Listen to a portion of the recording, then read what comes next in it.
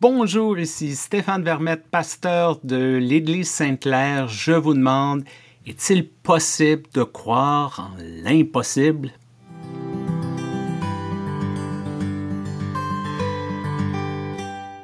Dans ses travaux, le professeur Joseph Campbell a comparé les grandes mythologies et les grandes religions de notre monde Selon lui, tous les grands récits racontant l'histoire d'un grand personnage, d'un héros mythique ou d'une figure messianique suivent essentiellement la même structure narrative. Et l'un des éléments que nous pouvons rencontrer dans ce monomythe, ce, ce mythe qui se répète, est la fécondation d'une femme mortelle par une divinité ou une force surnaturelle. Nous pouvons rencontrer cette idée dans les récits de la vie du prince Siddhartha qui est devenu Bouddha. Dans la mythologie grecque, disons que le dieu Zeus a été très généreux de sa personne. Cependant, le récit de naissance virginale probablement le plus célèbre de tous est celui d'Anakin Skywalker dans la saga Star Wars. Non, j'aborde ce sujet parce que le texte d'aujourd'hui, tiré du premier chapitre de l'Évangile selon Luc, traite de la conception de Jésus par l'opération du Saint-Esprit.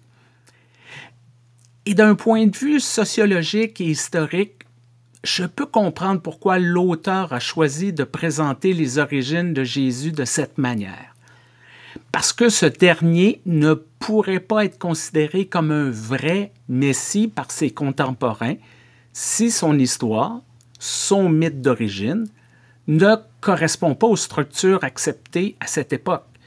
Et de plus, étant donné que tout le monde savait que Joseph n'était pas le père biologique de Jésus, beaucoup de rumeurs se sont propagées très rapidement. Juste un exemple, le philosophe grec Celsus affirme que le soldat romain Tiberius Julius Pantera est le vrai père biologique de Jésus. Alors, devant cette série de, problèmes, l'auteur de l'Évangile, selon Luc, a sûrement voulu étouffer toutes ces spéculations et rétablir les faits. Un peu comme qu'il aurait dit, j'ai fait mes recherches, voici comment les choses se sont vraiment déroulées, fin de la conversation. Personnellement, je veux bien, mais n'en demeure pas moins que nous sommes en 2023. Les avancées de la science nous ont permis de très bien comprendre le processus de fécondation chez les humains. Il est pratiquement impossible pour une femme de développer un embryon sans l'apport de cellules masculines. Alors, il semble manquer quelques détails importants dans l'histoire qu'on nous présente aujourd'hui. Et dans notre extrait, même Marie ne semble pas comprendre le comment du pourquoi lorsque l'ange Gabriel lui annonce qu'elle enfantera le Fils du Très-Haut, l'héritier du trône de David, dont le règne n'aura pas de fin. Je veux bien, semble répondre Marie, mais nous avons un petit problème là.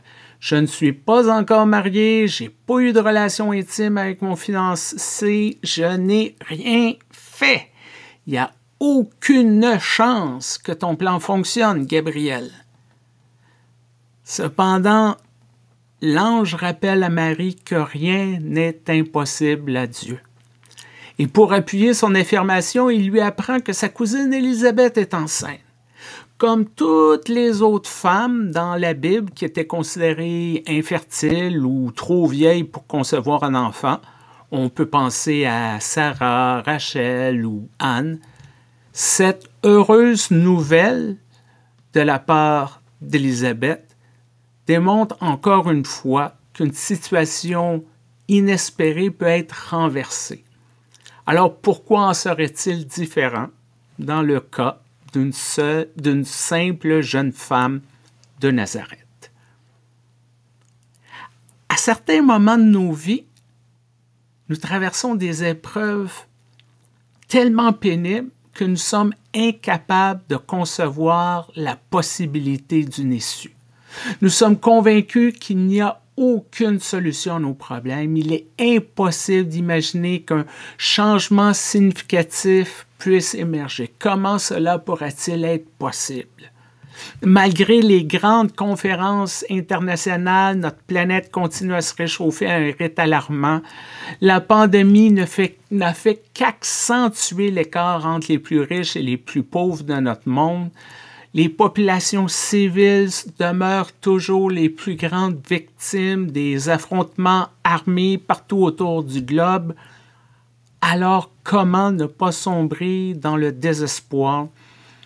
Comment ne pas accueillir l'annonce d'une bonne nouvelle avec une bonne dose de scepticisme? Comment cela peut-il être possible?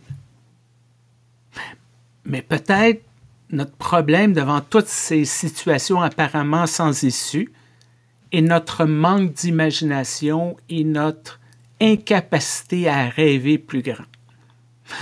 Trop souvent, nous sommes ceux et celles qui nous imposons limites. Si nous ne pouvons pas nous entendre collectivement pour diminuer les disparités entre les riches et les pauvres, pourquoi créer des, des programmes? Si nous ne pouvons pas établir des pourparlers avec nos ennemis, pourquoi croire qu'une paix est possible? Si les récits des évangiles sont structurés comme des mythes, pourquoi leur donner de la crédibilité alors? Mais je pense que le passage d'aujourd'hui nous invite à aller au-delà d'une simple histoire d'une jeune femme qui conçoit miraculeusement un enfant. Parce que ces mots proclament que l'espoir est toujours possible malgré les pires épreuves.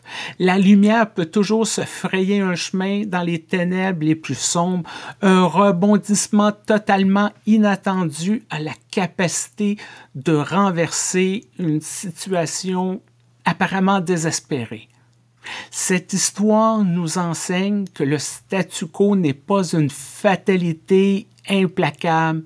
Il est possible de créer des, des, moments et des espaces où nos mots résonneront plus fort, nos actions modifieront la normalité ambiante, où l'impossible reculera devant les possibilités qui nous sont offertes par Dieu nous pouvons incarner cette conviction que Dieu nous abandonne jamais.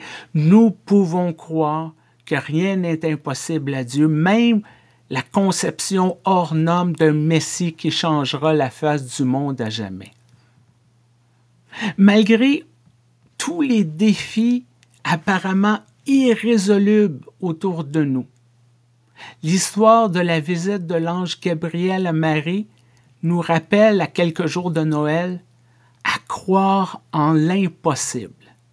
Au lieu de nous imposer des limites et de nous décourager, nous sommes invités à ouvrir nos esprits à toutes sortes de possibilités, même les plus incroyables, comme une conception virginale. Nous pouvons toujours espérer et croire parce que rien n'est impossible à Dieu. Merci d'être là, peu importe la plateforme sur laquelle vous écoutez. N'oubliez pas d'aimer, de partager, de laisser un commentaire. C'est toujours bon pour le référencement. N'oubliez pas, si vous le pouvez et si vous le voulez, de soutenir financièrement notre ministère.